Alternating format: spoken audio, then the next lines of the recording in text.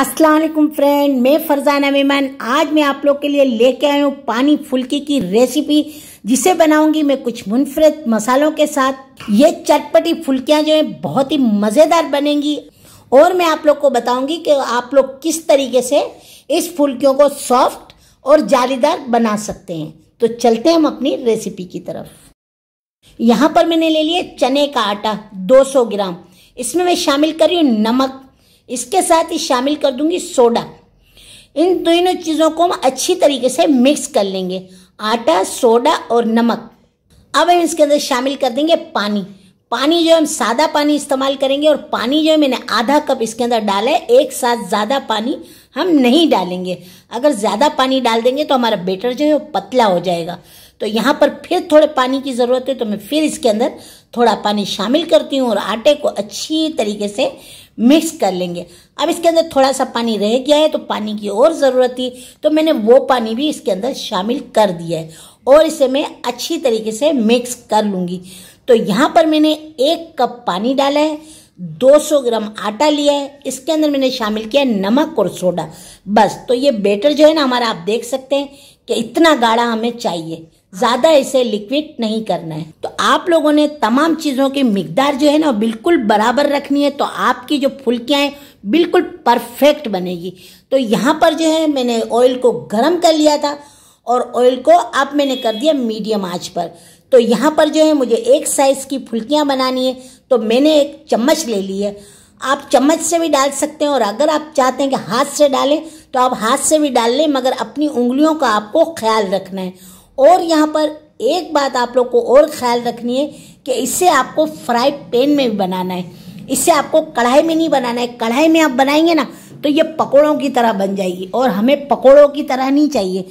फुल्कियाँ हमें चाहिए double double. तो ये देख रहे हैं आप, कैसा इसके अंदर डबल डबल शेफ आया है ना? तो ये इसकी वजह ये है कि इसको आप फ्राई पैन में पकाएँगे तो ये डबल हो जाएँगी। देखिए आप फूलने के बाद कितनी डबल डबल हो गई ना। ये सुनहरी कलर हो चुका है, इसके ऊपर आगे अब मैं इसे निकाल लेती हूँ। तो यहाँ पर मैंने सादा पानी ले लिया है, दो गिलास भर कर जितना भी पानी ले लें, इसकी कोई मिकदार की ज़रूरी नहीं है, ज़्यादा या कम। बस इसके अंदर मैंने इन फुल्कियों को डाल के मैं साइड पे रख देती हूँ।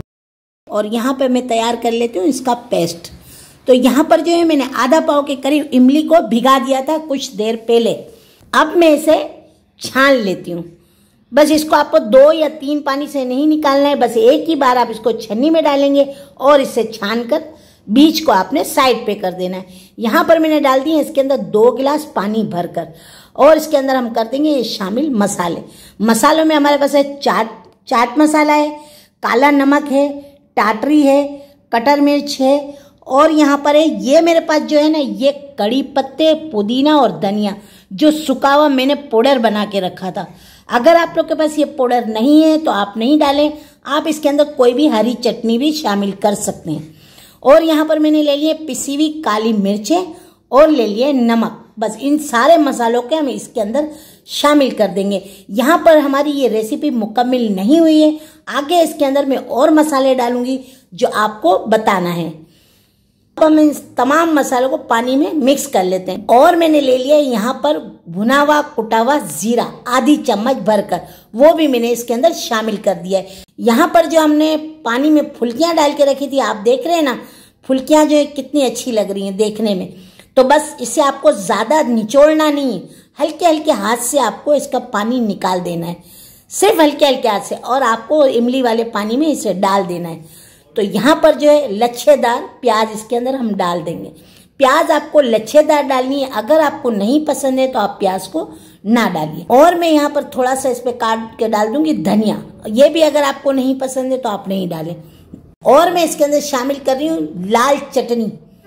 जो लाल वाले छोटे साबुत मिर्ची होते हैं ना, ये उसकी चटनी है। इस चटनी की रेसिपी मैं अपने चैनल पे अपलोड कर चुकी हूँ। तो आप लोग इसकी रेसिपी मेरे चैनल से ले सकते हैं। तो अब मैं आप लोग को ये टेस्ट करके दिखाती हूँ। आप देख रहे हैं ना कैसी जालीदार हमारी, आप देखें किसी जालीदार ये फुल्कियाँ हमारी तैयार हुई है ना। मज़ेदार सी खट्टी मीठी, चटपटी, खट्टी खट्टी, इतनी मज़े की बनी है कि मैं आपको बता नहीं सकती। तो आप लोगों को अगर मेरी ये फुल्कियों की रेसिपी अच्छी लगी हो तो अच्छा सा एक कमेंट कर दें लाइक कर दें, दोस्तों के साथ शेयर कर दें। आपका कमेंट और लाइक मुझे बहुत मोटिवेट करता है तो आप लोग कमेंट और लाइक करना ना भूलें। शुक्रिया। मिलते हैं एक नई रेसिपी के साथ। तब तक के लिए अल्लाह हाफिज, दुआओं में याद रखिएगा, अपना ढेर सारा ख्याल रखिएगा। जाते जाते चैनल पे नए हैं तो चैनल को सब्सक्राइब कर दें, घंटी के बटन को ऑल पे जाके सेट कर दें, ताकि मेरी आने वाली तमाम रेसिपीज़ आपको बसानी देखने को मिल सके। हुकूमत ने कोई टैक्स नहीं रखा, कोई बैलेंस नहीं रखा तो आप लोग सब्सक्राइब करने में कंजूसी ना करें। शुक्रिया।